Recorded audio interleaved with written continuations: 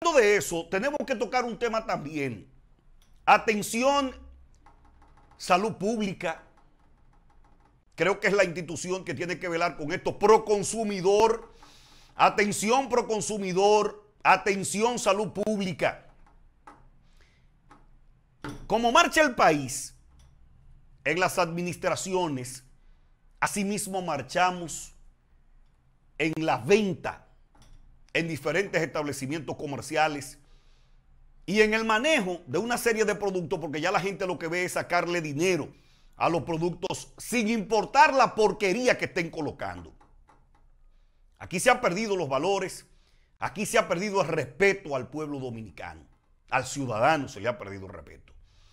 Por eso quiero presentarle un video, señores, que eso manda madre. Óigame, no, no, no, no, no, no. Nosotros que tenemos que ponerle un stop a esto.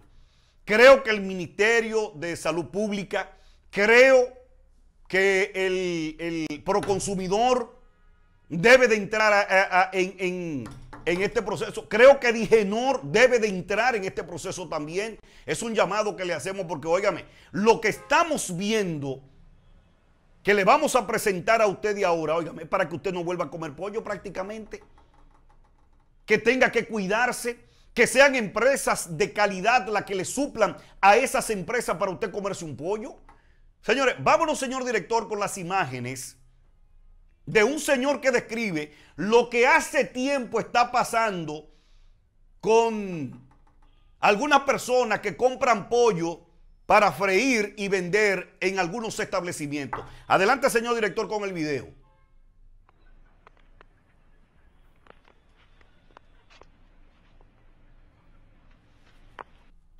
Mucho pollo, pollo, pollo. Pollo completamente podrido. Casi hecho gusano, se meten en cagogo.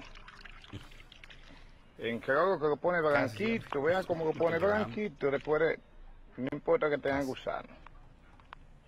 Eso se mete en un tanque. Y ahí salen ellos blancos como la cal. Y de ahí para el mercado. Puede haber una. Para todos los puestos. Toda la granja lo venden. Lo venden para que lleguen al mercado. Véalo ahí. Ya ese está blanquito ahí, nuevo. Listo para el mercado. Y ahí están los que van dispuestos a meterlo a cargo para blanquearse. 100%.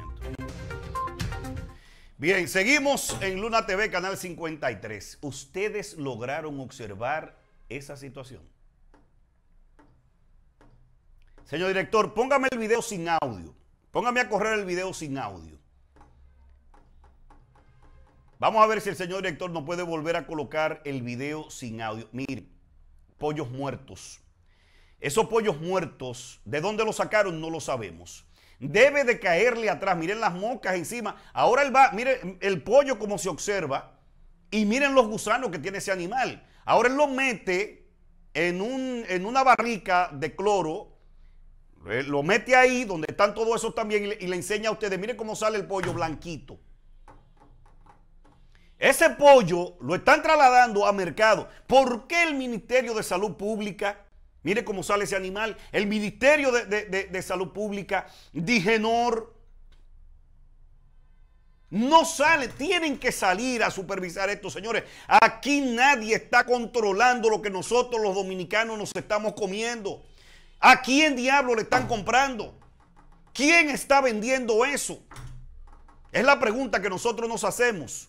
¿Quién está vendiendo esos animales muertos? Y peor aún, que se haya hecho la denuncia de que supuestamente también hay fábricas de embutidos en la República Dominicana que supuestamente también compran animales para hacer eh, eh, eh, embutidos. Pero yo no puedo creer que esto haya llegado tan lejos y estos son casos que debe de investigarlo el Ministerio de Salud Pública. Son casos que debe de investigarlo eh, eh, la Digenor. Son casos que deben de investigarse de parte del Estado. Señores, ¿qué es lo que nos están vendiendo en la calle? ¿Qué es lo que nosotros los ciudadanos estamos comiendo? ¿Qué es lo que estamos comiendo en las calles de nuestro país? Y quién sabe si en algunos establecimientos también de nombre. Por ahorrarse unos pesos, entonces compran esta, esta basura, esta porquería y le venden un cáncer a la población. Le venden un cáncer a la población y nadie dice absolutamente nada. Y no comemos el pollo, nos enfermamos al mes, a, las dos semanas. Y después que estamos enfermos, entonces, eh, ay, que no sé, tal vez comió algo, nadie sabe dónde salió la enfermedad, pero es porquería que estamos comiendo. ¿Quién vela para que esto no suceda? ¿Quién le da seguimiento a los establecimientos comerciales? A este tipo de negocios clandestinos que parece ser que está dejando dinero en la República Dominicana. ¿Eh? Porque mire la cantidad de pollo. ¿Quién le vende esa cantidad de pollos a ese señor?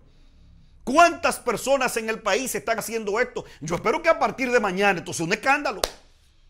Y que comiencen a investigarse y a buscar gente presa por esa situación. Porque con la salud de un pueblo no se juega. No se debe jugar.